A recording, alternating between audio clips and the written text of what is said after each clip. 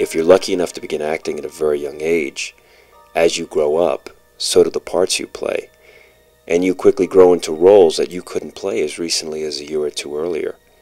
But you also quickly outgrow roles that you'll never be able to play again because you're simply no longer a boy.